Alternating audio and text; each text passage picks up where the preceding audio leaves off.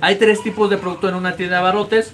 Productos de canasta básica, productos medio rotativos que no se caducan pronto y productos definitivamente no rotativos, ¿sí? Entonces, canasta básica, medio rotativos y no rotativos. Ahora vamos a poner ejemplos de este tres tipos de productos. En la canasta básica van desde la Coca-Cola de dos y medio que se vende todos los días, el huevo, el azúcar, el aceite, el jamón, las tortas, las tortillas, la leche, el yogur, los lácteos, el quesillo, la salchicha, mmm, ¿qué más les puedo hablar? El garrafón de agua, eh, bueno, son los que ahorita se me vienen a la mente. Todos esos productos que entran dentro de la canasta básica, incluso frutas y verduras, es que ustedes venden, se les va a ganar entre un 10% a un 15%, que realmente ustedes dicen, oye, 10%, por ejemplo, una leche que vale 20 pesos y el 10% son 2 pesos, eso es lo que le ganas.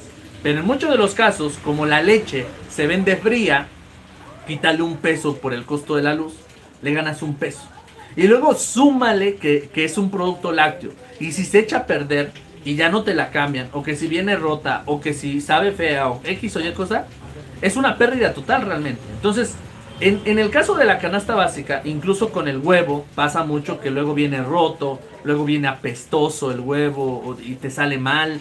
Eh, al final son pérdidas que marcan una diferencia que realmente en pocas palabras podríamos decir que a la canasta básica no se le gana nada. Nada, amigos. Porque si tú le sumas el gasto todavía de la gasolina o el gasto de que eh, en el huevo te pesan los conos de huevo y esto, esto en la central de abastos o en cualquier proveedor te lo está cobrando. Entonces al final esto, ¿sí? Y es un gasto que nosotros adquirimos y el cliente no, se, no, le, no le vendemos el cono de huevo. Al cliente le vendemos el huevo y todavía súmenle que hay que darle una bolsita. O sea, hay que invertir en bolsa. Entonces, si ustedes hicieran realmente cuentas al huevo, el azúcar, el aceite, la leche, todos esos productos, no se les gana nada. Si acaso un peso, dos pesos a, cada uno de ellos, ¿no?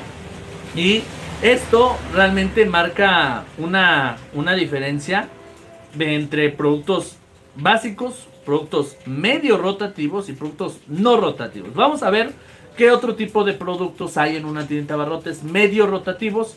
El siguiente ejemplo es muy real, por ejemplo, papel higiénico.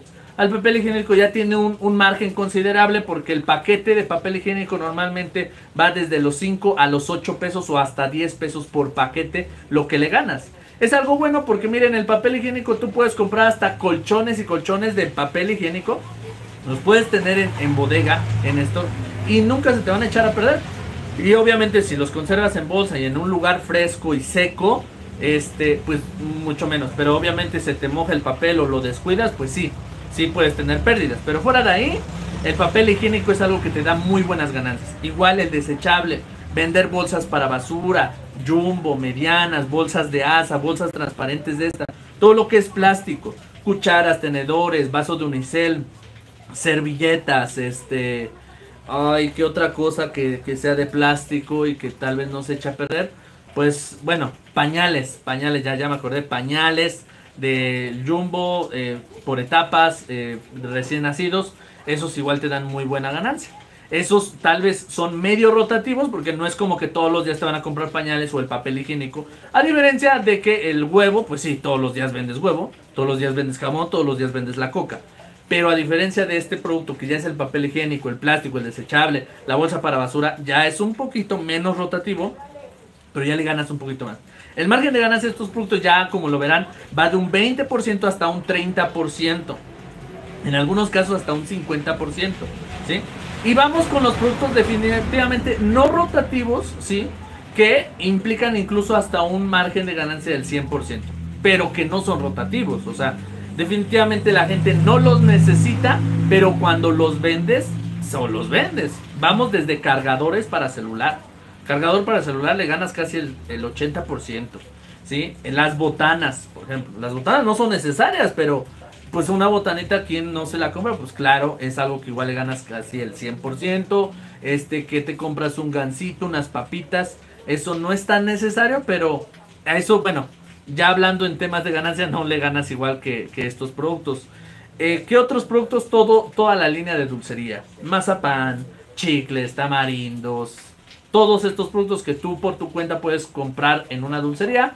pues son productos que te pueden dar un margen de ganancia desde el 50% hasta el 100%. Incluso hay unos que más.